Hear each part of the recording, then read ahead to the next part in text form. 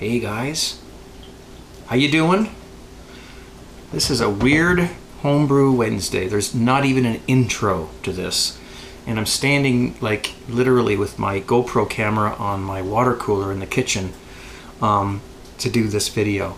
Um, it's a bit of a stripped down version of Homebrew Wednesday this week, and that's because I just spent four hours editing um, a brewing video that I shot here, and I'm pretty tired, so I think I'm gonna um, save the things I wanted to talk about this week on Homebrew Wednesday. I think I'll save them until next week, where I can actually sit down and and get my thoughts together. But I do have a beer.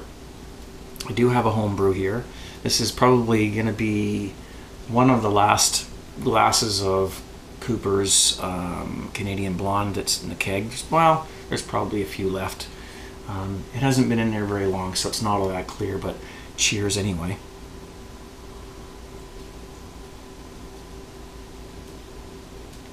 Aye.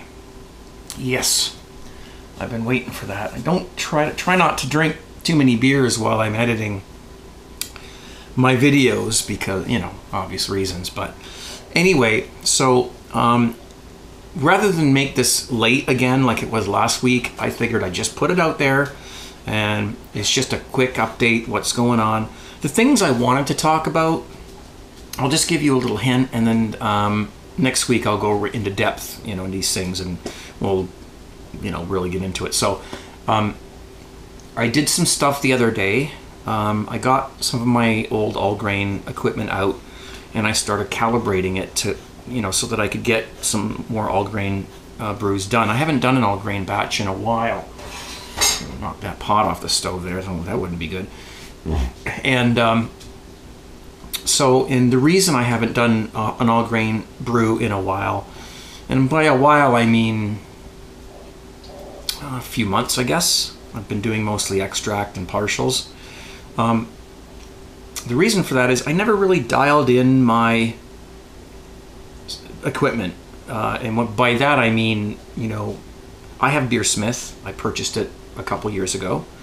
Um, there's other ones out there. Um, there's free ones too. I don't. I don't. Uh, I'm not trying to endorse any particular uh, program or software. Um, but you know that's the one I just chose to use, and it's good. You know, um, but one of the things that makes it a lot easier to brew your your all grain batches is to have certain parameters already uh, figured out. For example, how much water do you lose when you boil, you know, for an hour on your stove or on your burner or wherever you boil from, um, and with the particular pot that you have. Um, how much water or wort do you lose in your mash tun? And then how much, so that basically determines how much water you're going to need to use for your batch. And I never really dialed that in. So every time I thought about making an all grain, it was like, oh, geez, okay, I got to figure this stuff out. You know, I got to kind of guess.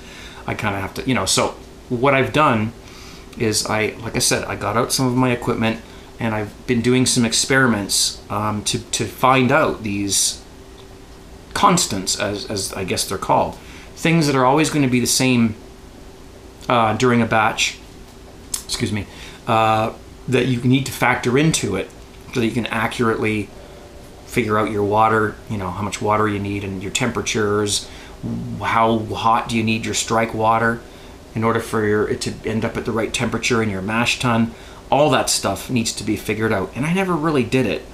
And so I'm really guilty about that.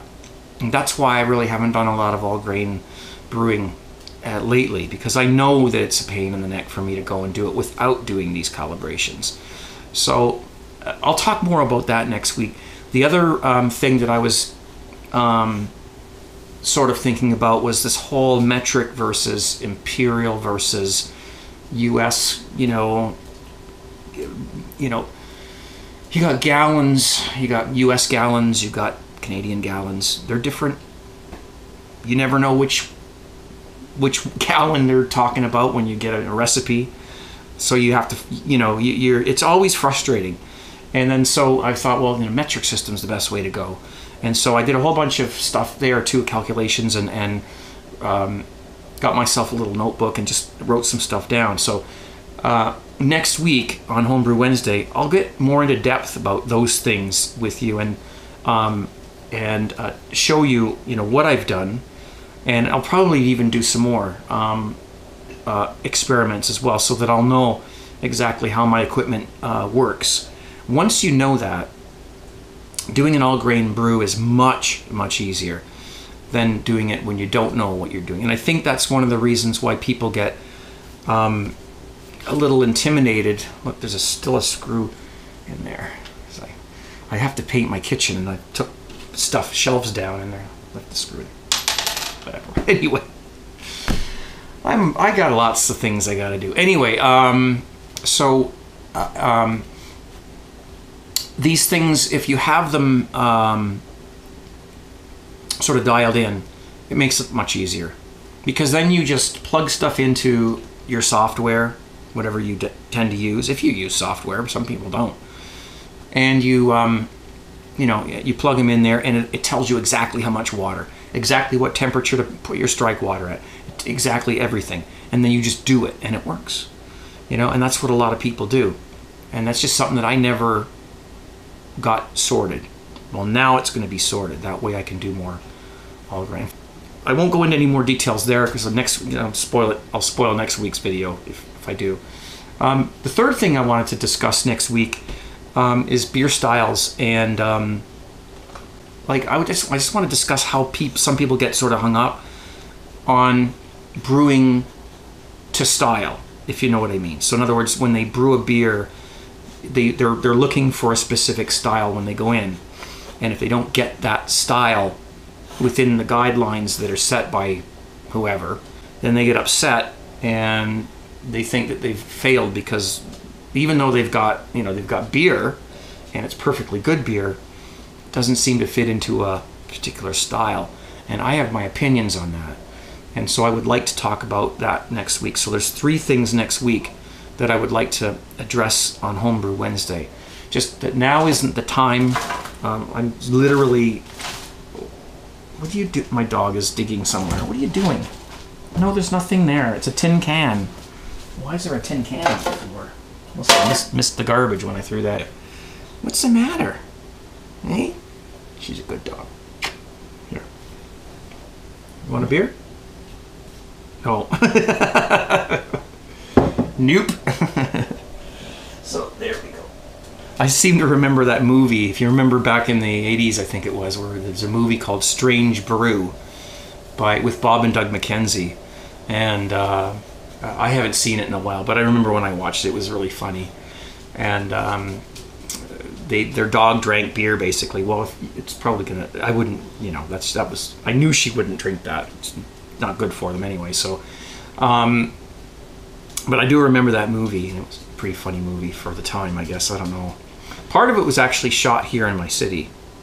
Um, uh, in uh, there was a part where there was a van. They were driving along. There was a, a, a scene where they were driving down a some sort of a hill or something. Anyway, um, so that's if you if you're ever bored and you want to watch an, an old '80s beer movie, and Strange Brew is what it's called.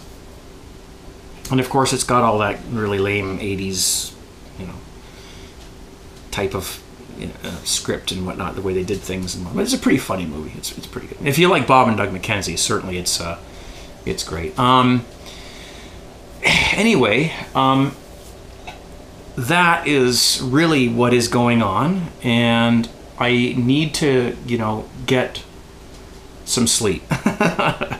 Somebody commented next week, you know, last week on my video, you know, 10 year anniversary is coming up here on YouTube for me.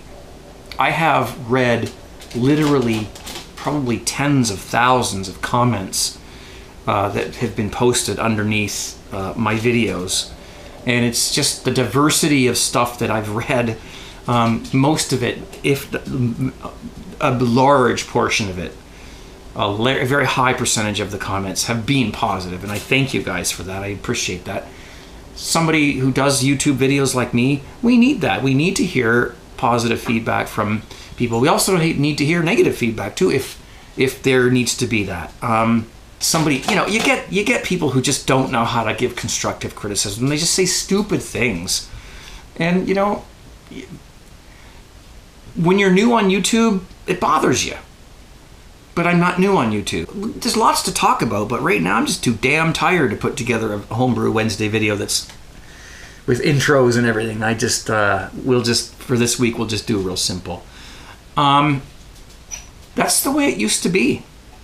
My first homebrew Wednesday video was just very simple, just like this. I think it was only ten minutes long as well. You, if you, you you guys could do me one one big favor, and that is um, if you can possibly do it. And I don't know you know, if you watch the videos on your phone or on an iPad or a, or a tablet or on your computer or whatever, but you know what? If you like the videos, please thumb them up.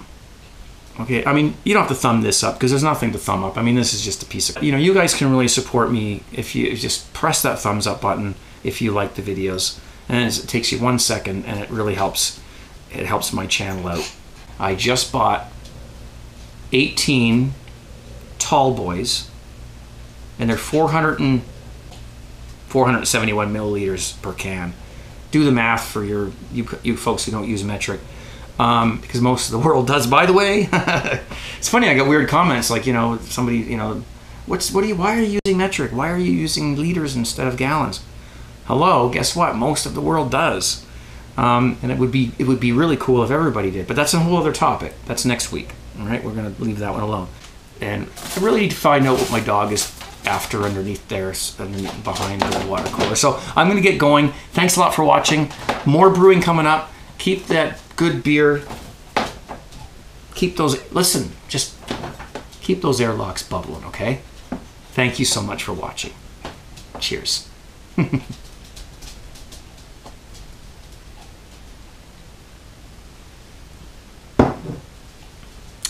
How do you turn this thing off now?